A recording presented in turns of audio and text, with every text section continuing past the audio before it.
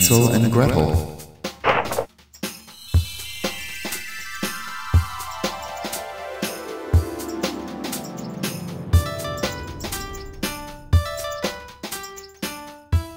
Once upon a time, there was a little cottage on the edge of a deep, dark forest. Living inside was a father, a mother, the son Hansel, and the daughter Gretel. The family was quite poor, and they did not have enough to eat. Although the father worked hard in the garden, he could scarcely grow enough to take care of his family. It had not rained for months. The hot sun blazed down. The drought kept his seeds from growing. There was nothing he could do. The man felt hopeless. The family was forced to eat nothing but stale bread crusts. They were hard and tasted like sawdust. Unfortunately, there was nothing else to eat.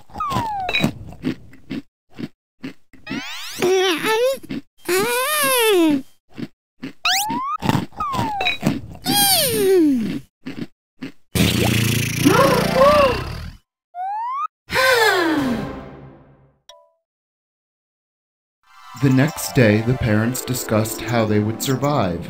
We are running out of food. What shall we do? I don't know. I have an idea. We should take the children to the woods and leave them there. Then we will have only ourselves to feed. No, wife. That I will never do. Oh, you simpleton!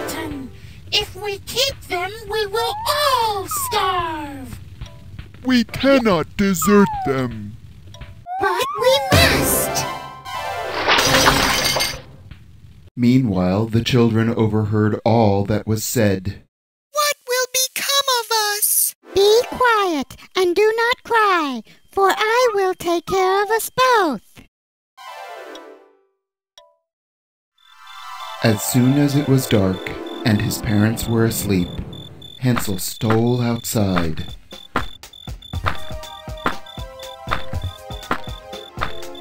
There he gathered stones that glistened whitely on the paths. One after another, he picked them up.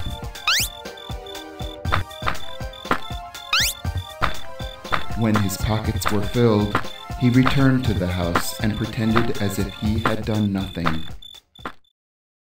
At the crack of dawn the next morning, the mother called the children to get up.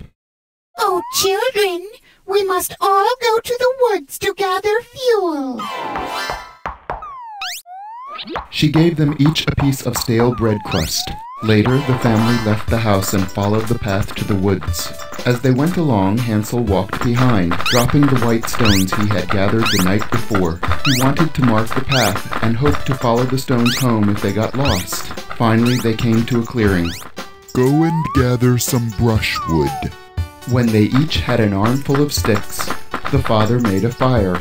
He tended it until it burned brightly. The children stayed by the fire, and Hansel began to feel drowsy. Meanwhile, their parents wandered out of sight. The children began to feel hungry. They ate some of their stale bread crusts. Gretel heard something. She thought it was her father's axe, but it was only a branch swinging against a tree in the breeze. The children fell asleep. They slept for hours. They didn't notice the fire had gone out. When they awoke, they were frightened. Gretel began to cry. But Hansel comforted her. The sun was beginning to set. After dark, it was easy to follow the white pebbles Hansel had left on the path. Before long, they were once again at the front door of their home. Hansel knocked on the door. Then the door swung open. It was their mother, and she was angry. Hansel and Gretel were frightened. Where have you been? The father was glad to see them, however. He even shared his stale bread crusts. But later, the mother chased the children without mercy. I'm going to catch you, and when I do, you'll be sorry. Oh, oh, get back here, you rotten little brats. Life went on as before, but meantime, food was getting scarcer. We only have half a loaf of bread. The children must go, lest we all starve. But we could share the last slices. A half a loaf isn't enough for four people. We must take them deeper into the forest. Then we will leave them in the woods tomorrow. The children had again been listening from behind the door. Hansel later tried to sneak out, but the door had been locked. He could not get outside to gather stones for marking the path, so he went back to bed. The next morning, at the crack of dawn, the mother called out. Oh, children, She again gave them each a stale bread crust. Then the family went back into the forest, deeper than they had ever gone before. This time Hansel crumbled his bread and dropped the crumbs along the path. He wanted to follow them home as he had done the first time. The father built another fire. Later, the two children sat near it and began to feel drowsy. Meanwhile, the mother and father walked off. The children slept, but when they woke, they were alone, and the path home was lost, for the birds had eaten Hansel's breadcrumbs. Night was coming, and darkness would soon be upon them. Poor children, they walked down the path. It seemed like the right direction, but it never led them home. Finally, they realized they were hopelessly lost. The next morning, Hansel and Gretel were still searching. They continued to wander on the path, becoming very hungry. They hadn't had anything to eat since the day before. Gretel found some berries, but it was no use. They were too sour.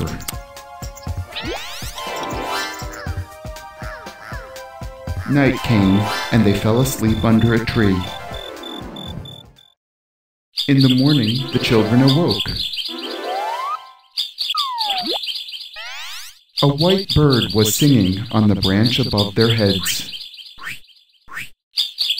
Hansel pointed up. Look! The bird sang a beautiful song. As he flew away, he stopped on the treetop so the children were able to follow him. Suddenly, they came upon a clearing. A little house appeared as if by magic. The walls were made of gingerbread, the windows were made of chocolate, it had icing on the roof, and candy strewn on the ground in front. The bird flew on as the little ones approached. They could not believe their eyes and gasped. See, Gretel, here is all the food we will ever need. They marched up to the gingerbread house. Gretel broke off a piece of the roof and began to eat as Hansel watched. They heard a voice. Who is nibbling at my house? Do not worry, it is just a mouse. They thought it was quite funny. Suddenly the door flew open. I have better food inside. Won't you come in? Hansel and Gretel followed the old lady inside. Turn around and don't peek.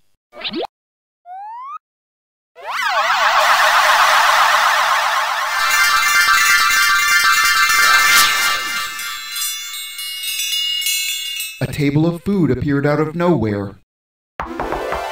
The children had not seen what had really happened, but they were happy to have a delicious feast.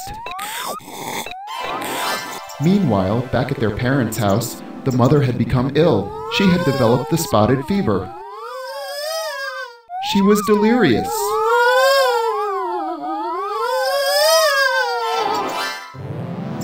Back at the gingerbread house, Hansel and Gretel finished their meal. They were stuffed. Oh, children, I have a surprise for you. Watch.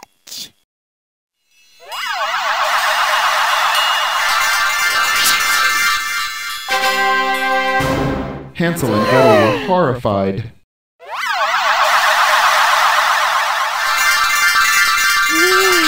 At once, all the plates disappeared.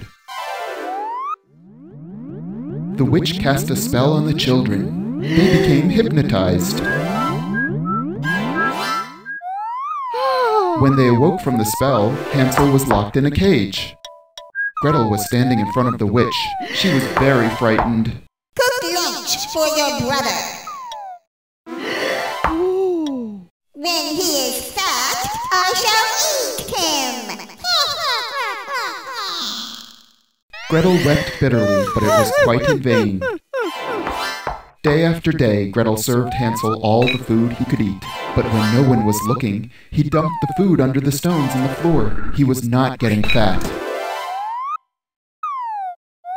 One day, the witch checked Hansel's fingers to see if he was gaining weight. But Hansel held out a bone. The witch felt it, but she couldn't see well. She couldn't understand why he stayed thin. Fat or lean, I shall eat Hansel today. Gretel cried, but she was helpless. The witch prepared to make a fire in her oven. First, we will bake.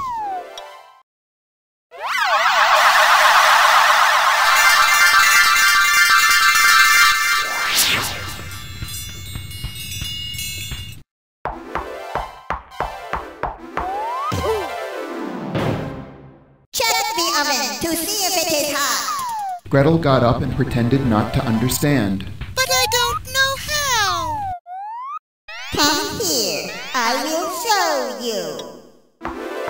The witch went over to the oven and poked her head in.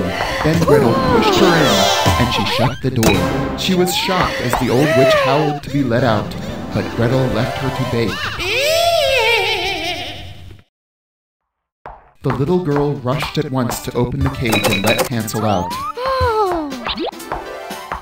Together, the children began to search the witch's house.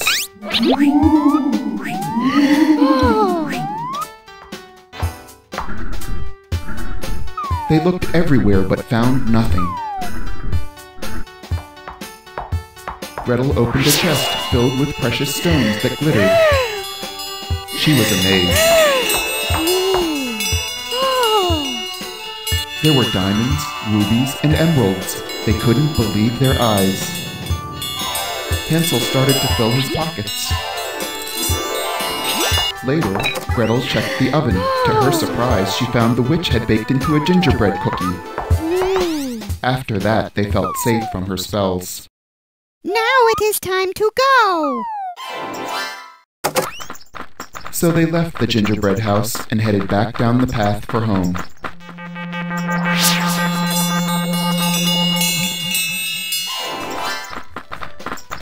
Hansel and Gretel walked on the path, when at once they came to a small river, but it was too deep to cross. A white swan was swimming upon it.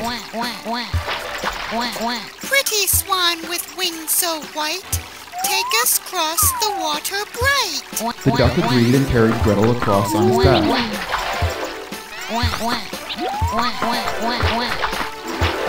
He then came back for Hansel and carried him across also.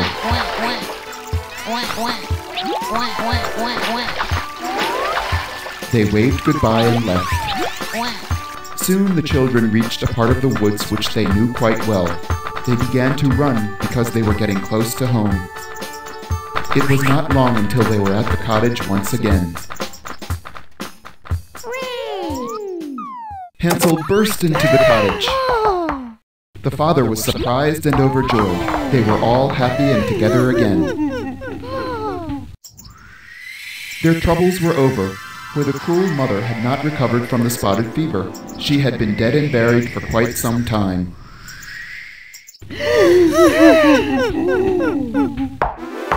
Hansel reached into his pockets and pulled out the jewels he had found at the witch's house. The father couldn't believe his eyes.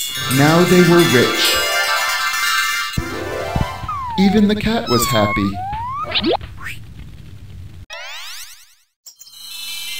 They lived happily ever after, Ever after, Ever after.